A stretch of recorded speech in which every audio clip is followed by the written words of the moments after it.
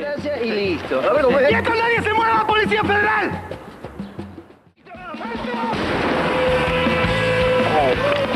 Tony, Están detenidos. ¿está sangrando, Tony? Cállate la boca, nene. Bom, os pregos costumam ser atraídos por pés descalços e por pneus de carro. Como você não está mancando nem sangrando. Olha, Susana, eu não vou me apaixonar por você. Não estou querendo encontrar a mulher ideal. Eu só quero me divertir. Não sei, um jantarzinho, beber uns drinks, até a gente pode ir a um cinema. Sem nenhum compromisso. Quem sabe até eu pago a sua entrada. Eu acho que eu vou dizer pra Vera que você implorou pra eu sair com você. Daí eu fiquei com dó e aceitei. Ah, agora você vai colocar a culpa toda em cima de mim, é? Eu não sou culpada. Não fui eu que te demiti. Não, você só não falou que a Vera ia ficar furiosa se você saísse comigo. Vai mais devagar, você tá correndo muito. Ok, eu te peço desculpas pelo que aconteceu, mas eu não tenho nada a ver com a história. Isso é uma história entre você e a Vera. Eu tô no meio disso por acaso. Aposto que você sempre diz isso. Como assim? Você nunca está no meio, mas você é a culpada de tudo. Eu? Não, eu. Vejamos. Você ficou falando uma hora sobre seu ex-namorado, mesmo sabendo que ele é um criminoso que possivelmente assassinou a sua vizinha. Eu tenho certeza que não foi ele. A Vera pediu pra você não sair comigo e o que, que você fez? Saiu comigo. Só porque você sentiu que algum desastre podia acontecer e não resistiu à tentação. Imagina! que no te rindes. ¿Está todo bien acá? Sí, sí, todo bien. ¿Estás segura? Sí, estoy afuera. Bueno, ¿usted está bien?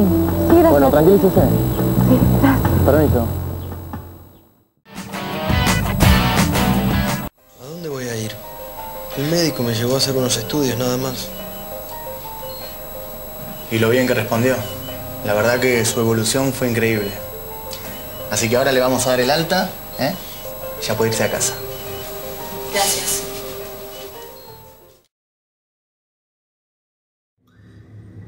Usted me está queriendo decir que Gómez le pasó esa cosa a usted.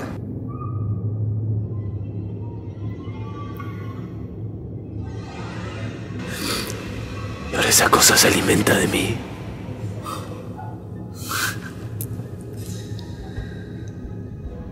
No me cree, ¿verdad? No le puedo creer, eso no es real. Es tan real como este whisky, mi amigo. Escúcheme, Juan Carlos. Todo eso es producto de su imaginación. Nadie le cree, porque usted está completamente loco. Hola. Hola. Hola, ¿me escuchás? Puta que los parió.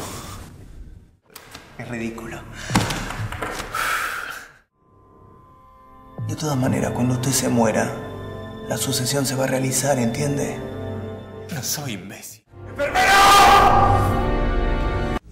Está en el laboratorio, no está listo todavía.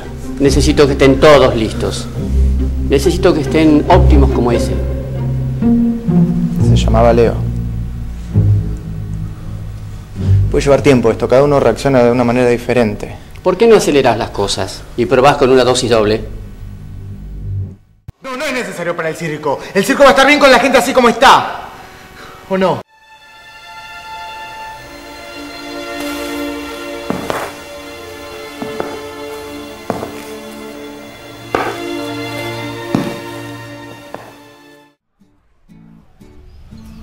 Parece que la espera va a ser larga.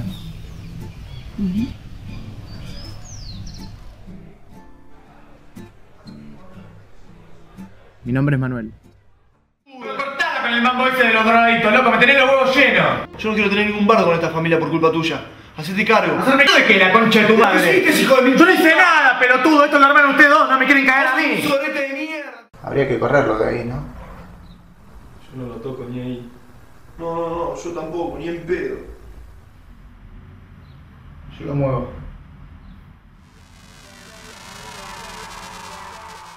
Ahí fue una sobrecarga. Gonza, ¿qué hice? El foco de madre madre que te parió. Ah, el, eh, ¿Qué foco? ¿Qué si yo no te mirá, yo no fui. Sí, sí. Entonces estamos por ir a toma, ¿me lo podés arreglar o no me lo podés? No. ¿Por. Pero los ojos del ser humano ven distintos al de la cámara, ¿entendés? Es otra cosa. El ojo del humano... Sí, el ojo, el ojo, estoy hablando boludeces. ¿No te das cuenta que por suerte tengo la batería? Si no me quemé la cámara me hace mierda. El ojo es distinto. Eh, Bueno, mire, ese que está en la puerta es el auto que compré con la plata del otro. Es una belleza. Eh, ¿Le puede servir para la filmación? Es lo que hay, no sé. ¡No! ¡Ay, qué pelotuda! ¡Ay, el auto de mi viejo! ¡Nena! ¡Sos una boluda, nena! La cámara, la cámara, sí, cuidado. ¡Sos una boluda! ¡Me va a matar, mi viejo! ¡Me va a matar! Los pines son tarones. ¡Te que lo parió! ¿Qué hiciste? ¡Carla! ¡Carla! Pregunta a Nino si encontraste la hormiga. No, no hay ninguna.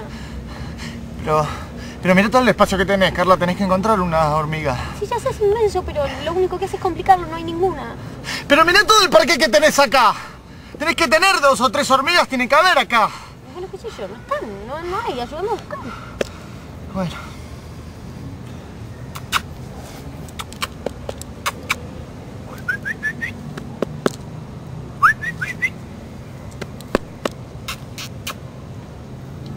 Estamos aquí con la Teniente Pereira de la Dirección Departamental de Investigaciones de Escobar. Ella es quien tiene la difícil tarea de llevar adelante esta investigación. Buenas tardes, Teniente. Buenas tardes. Una camioneta abandonada. ¿Esta camioneta tendría algún vínculo con la investigación? Bueno, según los resultados del revenido metaloquímico. Gracias, Teniente, le agradezco su tiempo. Desde aquí, por lo pronto, no hay más nada que informar. Solamente rezar para que la pequeña Jenny esté pronto con nosotros. Informó para Panorama Global Sergio Ferrari.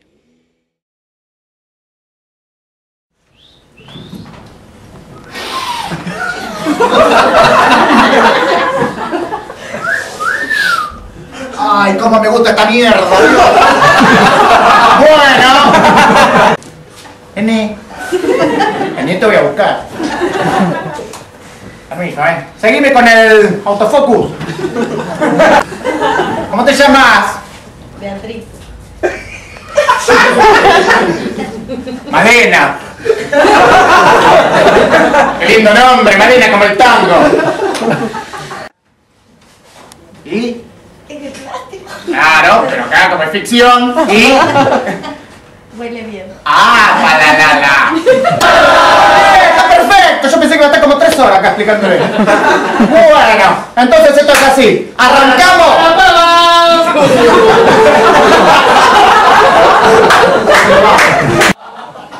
Cuando no te vuelva a ver.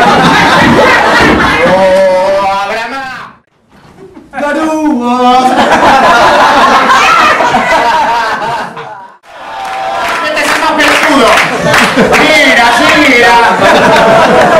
Gira, gira. Mire, cuando, cuando uno está en el medio del bosque y está cansado, tiene al final de ese bosque una lucecita, una pequeña luz. Ya no le importa que esté oscuro, ni el cansancio, ni que las ramas le peguen en la cara, porque no tiene una luz, no tiene un objetivo. Yo trabajo, trabajo día y noche, y usted lo sabe muy bien, Sonia. Me esfuerzo, me esfuerzo, y no tengo ninguna luz. Yo no tengo ningún camino, no tengo para dónde ir.